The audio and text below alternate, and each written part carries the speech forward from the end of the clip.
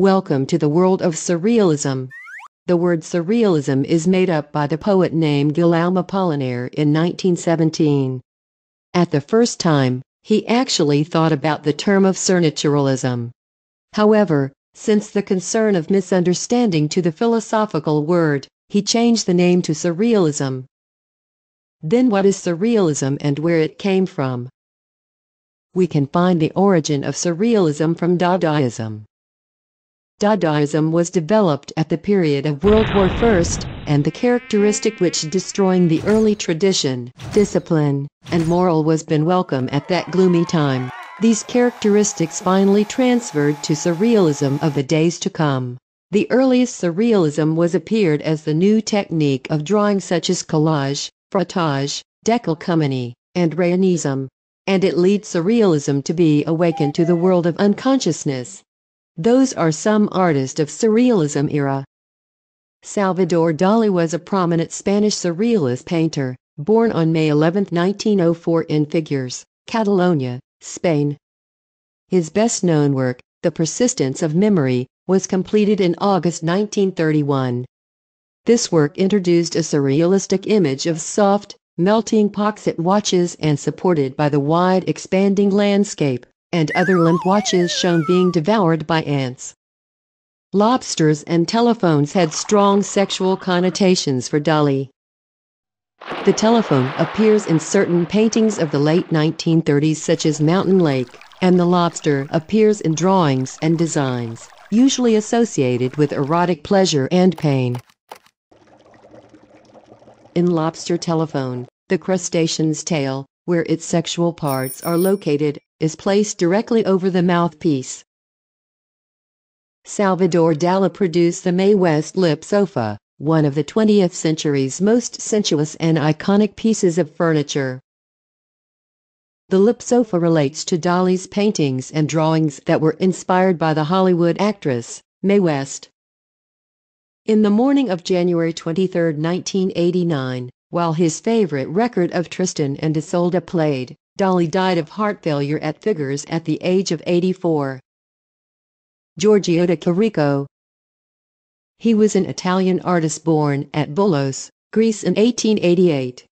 He died at the age of 90 in Rome. This is one of his famous artworks, The Disquieting Muses. The spaces in this painting are dominated and interpenetrated fantastically such as the box in the foreground is seen through the sitting muse's perspective. Leonora Carrington, she was an English-born Mexican artist, born in 1917 in England and died at the age of 94. One of her most famous arts is the giantess. A moon-faced female giant in the painting is hermetic and complex. This painting is also known as the guardian of the egg. She was inspired by the great natural and mythological worlds and underworlds Mexico has to offer, or evoke her own Celtic roots.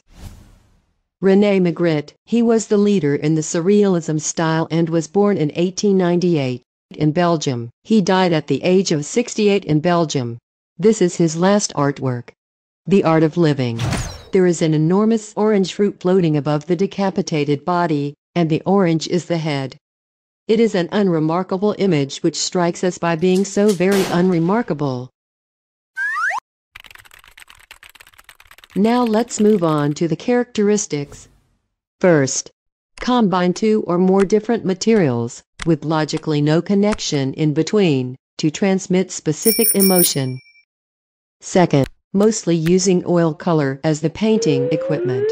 Third, surrealists use symbols as a method of telling a story. Among surrealism effect nowadays art, we can count the most biggest one as the legacy of objet. In surrealism, there are some symbolic natural object or daily object which are not seem to related with the art, but those being used as differ from original usage. That is what we call objet. Objet is everywhere, and there are also surrealism photographers such as Erik Johansson, and the inventions based on creative ideas also can be the examples of an object of nowadays. So, after watching the video you guys now know that The surrealist movement produced a virtual feast for the eyes. The vivid colors and the strong visualizations of objects give the paintings a real eye-catching element, while the strange and sometimes disturbing malformations of people and creatures often give the viewer more to think about and a reason to look twice at the paintings.